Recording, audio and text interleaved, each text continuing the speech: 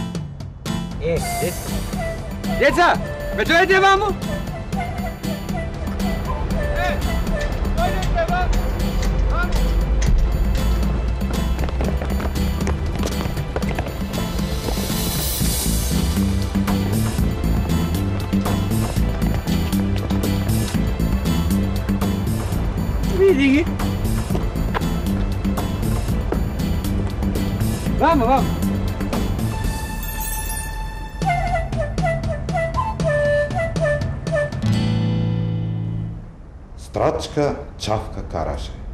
Кај си било денеска?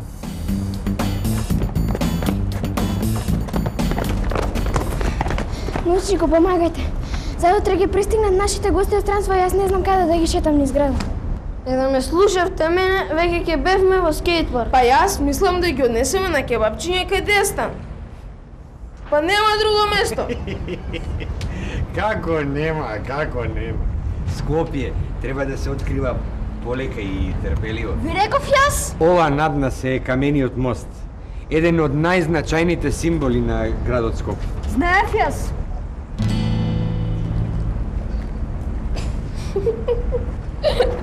Па, имате право. А колку е стар мостот? Потеклото нема е се уште утврдено. Мостот со сводовите личи на римска града. Поправан е од византиците, а потоа од феудалните српски владетели.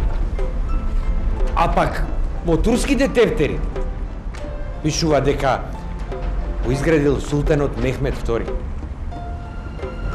Изграден од обработени камени блокови, како што се овие. Ке ви ќе ви открием една тајна. Тајна? Каква тајна? Внатрешноста на мостот е шуплива. И внатре градските татковци планираат да направат галерии.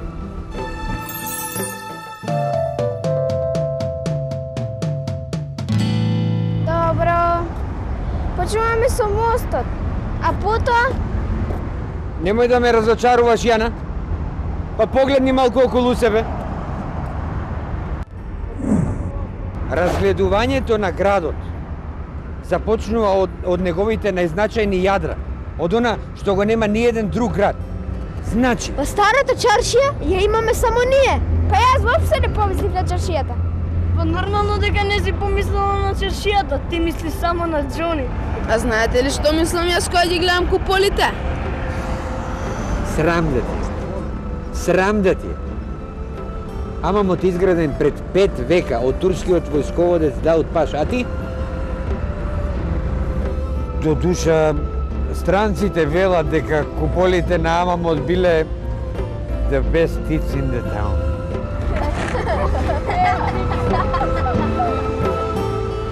Старото буниште поеќе чури.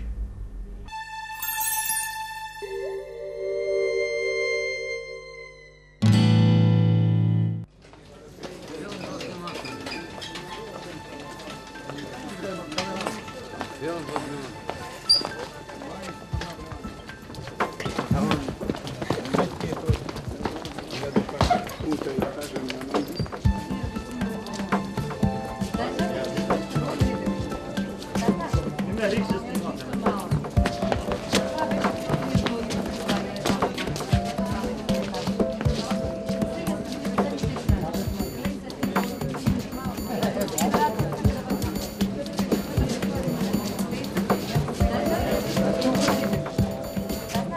Merry Christmas.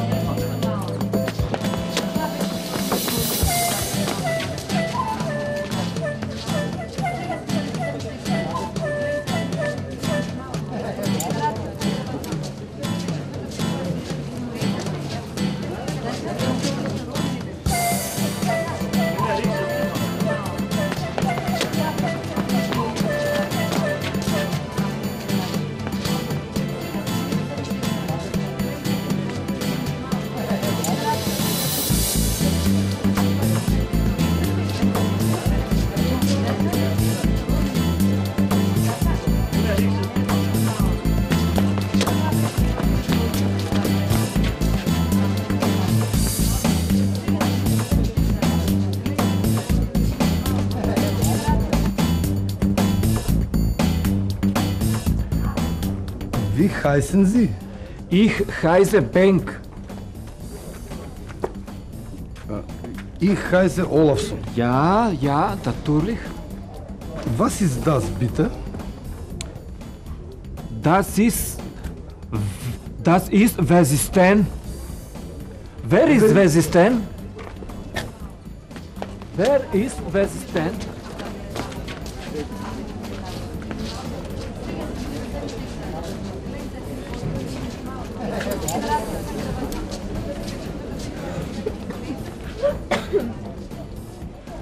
Entschuldigung, ich bin Beck und Olafsen. Sprechen Sie Deutsch bitte? Ja, ja, ja, ja. Ja, ja. Äh, wer, ist äh, Wesisten bitte? Wesisten? И, и, и. А, а? Везите. А, и, и, и. У, у, и, а, е. Äh, äh, uh, hi. Dankeschön, Dankeschön bitte. Dankeschön. Auf Wiedersehen. Безистен. Безистен. Скопје има Безистен? Се разбира дека има. Безистинот е едно од најинтересните градби на чаршијата. Тој е изграден уште во 15-тиот век. Безистен ти се верува. Е, да отида во скейт парк, вместо да дојдам со вас, немаше да го знам ова.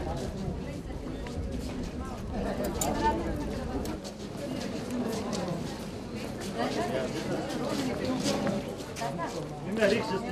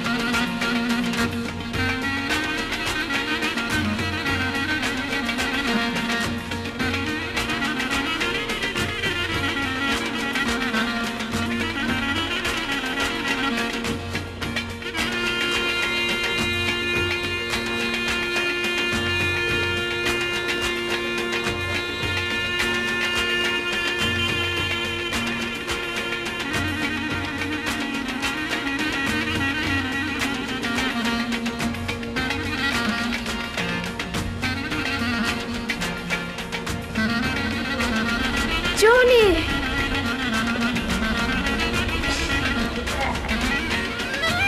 О, какво пријатно изненадување. Седнете, седнете малку да подиваниме. Чајче? Може. Може. Може. Момче, Безистенот бил срцето на чаршијата и околу него никнувале другите дуќани. Сегашниот Безистен го изградил некој наместник на султанот. Се викал Исхак Бек во 15-тиот век, на местото на некогашниот Безистен. А што имало во Безистенот? тесни, полутемни улици со голем број на занаидчиски дуќани. Со манифактурна стока и со ткаенини од исток.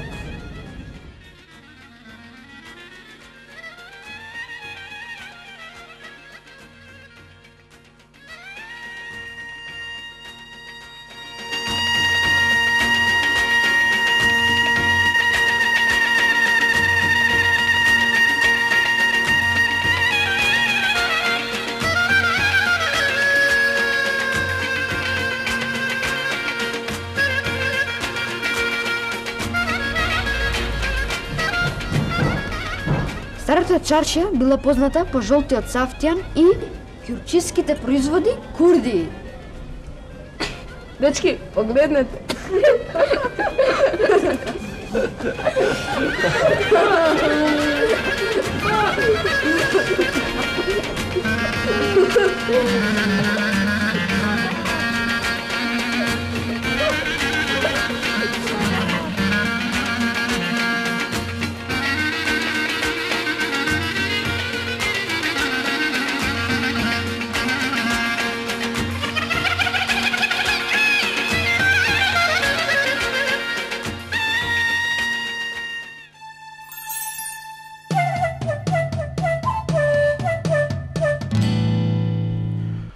Ваков мајстор редко излегуваат.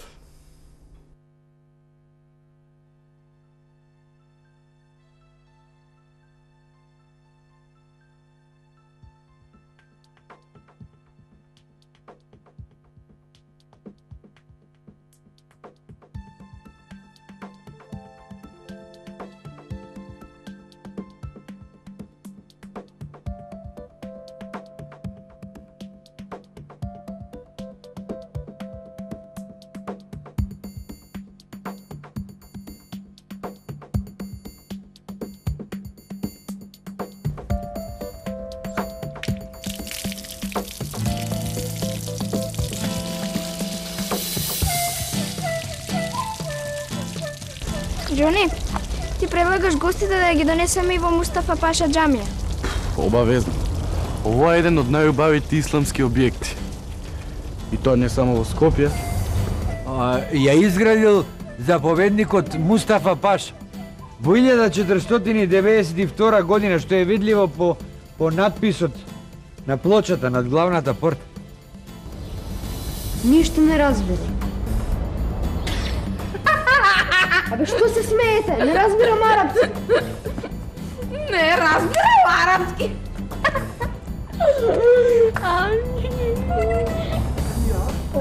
Кој се типчина? Хај. Ај, И ја. И ја. И ја. ти ај, ти И ја. Батка, како се вика бачило на германски? А, де, де знам како се вика бачило, знам како се вика гербаски овчар. Како се вика? Вучак. И знам ауто како се вика. Кола се вика Мерцедес. Или Volkswagen, зависи од кај ќе бараш, мислам. Мустафа Паша умрел 1519 година. Џони, а дали турските големци секогаш ги закопувале во џамиите кои тие ги граделе дури биле живи? Па се практикувало ктиторите на џамиите да бидат погребувани во турбињата покрај нив. Но Алач џамија е исклучен. А, ова, а, уште никој не ја знае тајната за турбето во во Алада џамија. Кака тајна? Тоа е тајната на шареното турбе, еден од најубавите средновековни исламски споменици во градот.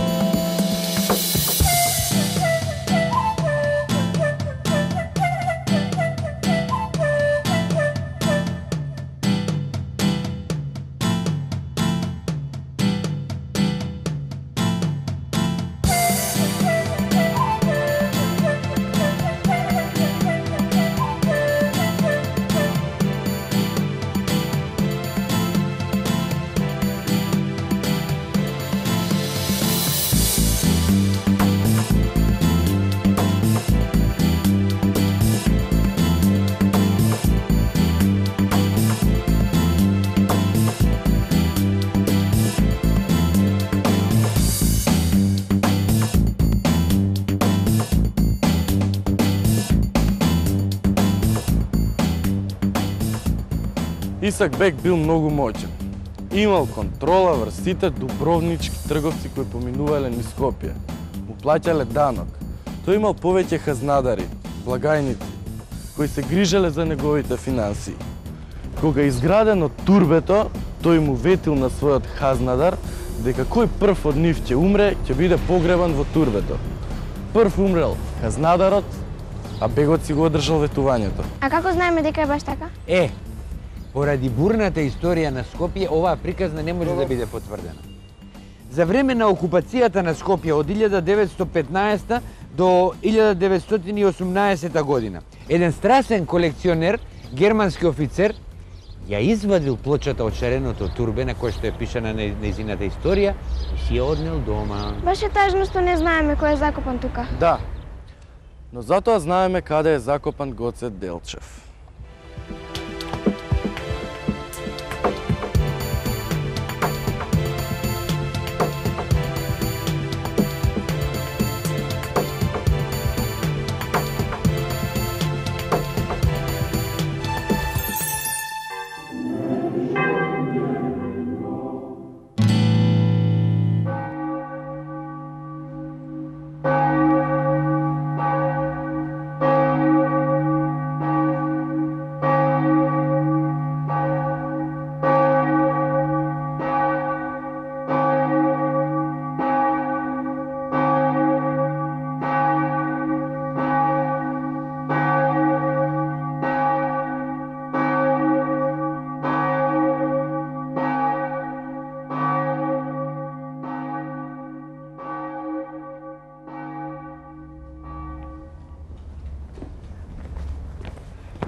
Па јас знаев дека Гоце Делчев е погребан во црквата Свети Спас.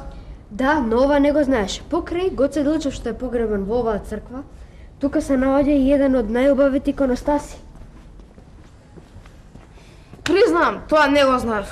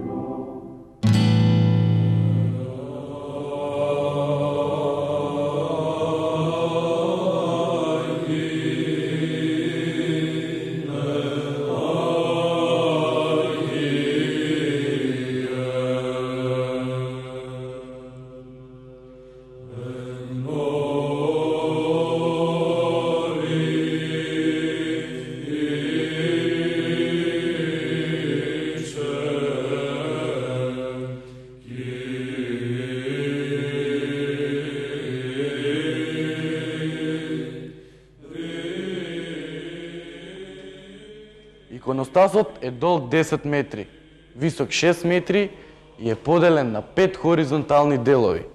И на него се изрезбани делови од Стариот и од Новиот Завет, со јаки фолклорни и национални белези. Уметничката вредност на иконостасот е во нежноста на линиите, пластичноста на формите, нивната стилизација и, и, и разиграност. Баш убаво. Иконостасот бил довршен во 1824 година, а парите за неговата изработка ги донирале за нечите и трговците од чаршијата. А кои биле мајсторите? Резбарската тајфа на Петре Филиповиќ Гарката, брат му Марко и Макарија Фрчковски од Галичник. На десниот дел од иконостасот источно се представени мајсторите.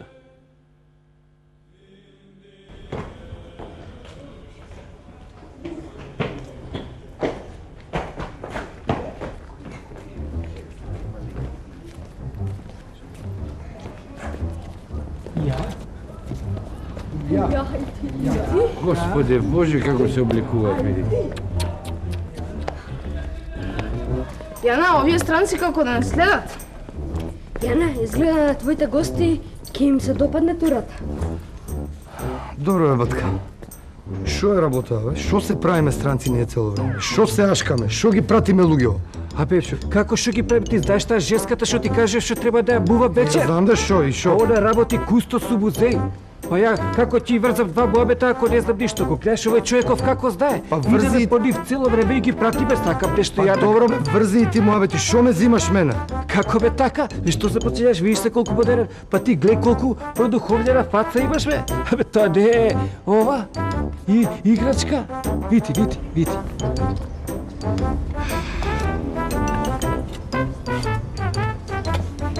Идеме ли конечно на кебапчиња кај деста? Thank you.